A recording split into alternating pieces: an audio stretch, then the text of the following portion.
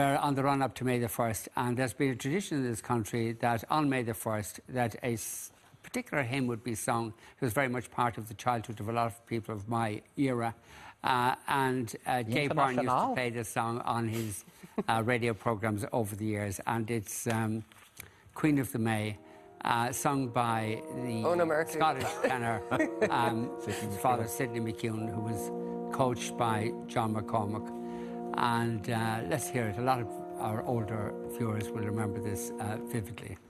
Um, that's it for now. For more on tonight's programme, on to tv3.ie. The weather's next. Tonight, good night.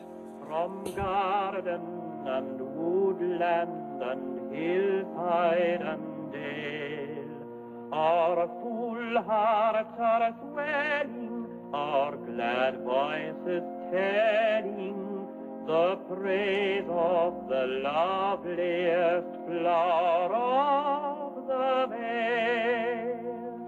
O Mary, we crown thee with blossoms today, Queen of the angels and Queen of the May.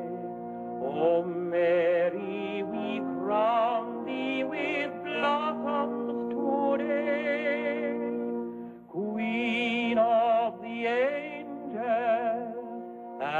the Queen of the